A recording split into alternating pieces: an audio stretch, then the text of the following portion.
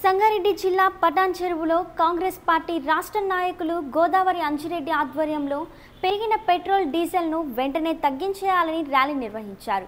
రోడ్డుపై బైఠాయించి Modi down down KCR down down అని నినాదాలు చేశారు. అనంతరం పోలీసులు వారిని అడ్డుకొని పోలీస్ స్టేషన్కు తరలించారు. ఈ సందర్భంగా వారు మాట్లాడుతూ పెట్రోల్ డీజిల్ రేట్లను వెంటనే తగ్గించాలని లేని ఎడల కాంగ్రెస్ పార్టీ వారు భారీ ఎత్తున ధర్నాలు ర్యాలీలు నిర్వహిస్తామని వారు తెలిపారు. పెంచిన పెట్రోల్ డీజిల్ ధరలను నియంత్రించాలని కాంగ్రెస్ పార్టీ మహిళా ప్రధాన కార్యదర్శి గోదావరి అంజిరెడ్డి ఆధ్వర్యంలో నిరసన తెలుపుతూ సంగారెడ్డి జిల్లా పటాన్ చెరువు ఎన్హెచ్ సిక్స్టీ ఫైవ్ పైన ధర్నా నిర్వహించారు.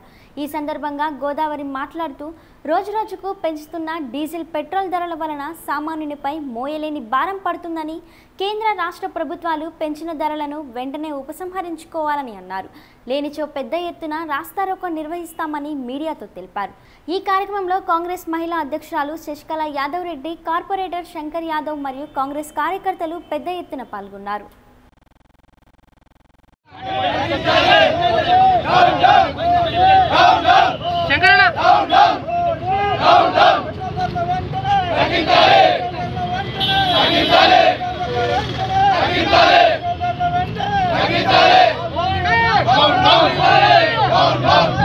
నరేంద్ర మోదీ నరేంద్ర మోదీ జై కాంగ్రెస్ పెంచిన పెట్రోల్ డీజిల్ ధరలు వెంటనే జై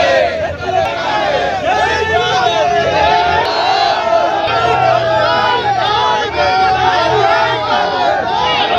KCR down down KCR down down KCR down down తగ్గించాలి తగ్గించాలి వెంటనే వెంటనే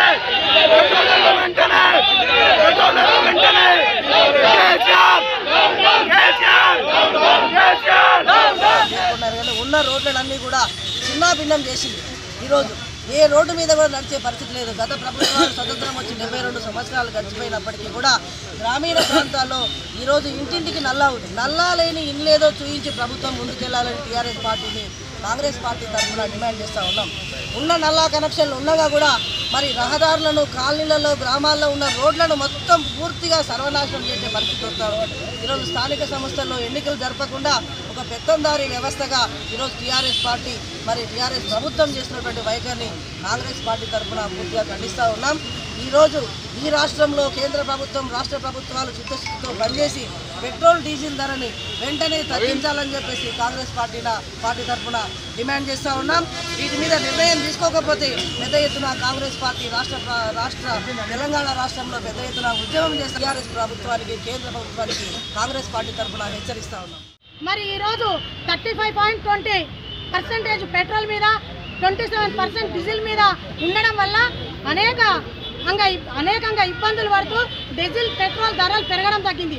ఈ రెండుటిని పర్సెంటేజీలను జిఎస్టీలో కలిపినట్లయితే పెట్రోల్ ధర డీజిల్ ధర సామాన్యమైన రేట్లోకి వచ్చి ఈరోజు ప్రజలు సంతోషంగా ఉండడానికి అవకాశం ఉంటుంది. ఉదాహరణకు తీసుకుంటే ఈరోజు రైతులు కానివ్వండి చిన్న చిన్న వ్యాపారస్తులు కానివ్వండి మరి అదేవిధంగా కూరగాయలు అమ్ముకునే వాళ్ళు కానివ్వండి ఎవరు కూడా ఈరోజు ట్రాన్స్పోర్ట్కు తీసుకొని వెళ్ళాలంటే ఈ డీజిల్ పెట్రోల్ ధర పెరగడం వల్ల వాళ్ళ ఛార్జెస్ కూడా ఎక్కువగా పెరిగినాయి. కాబట్టి వారు అమ్ముకున్నటువంటి కూరగాయల పైసలు వస్తే వాళ్ళ ట్రాన్స్పోర్ట్కే సరిపోవడం లేదు.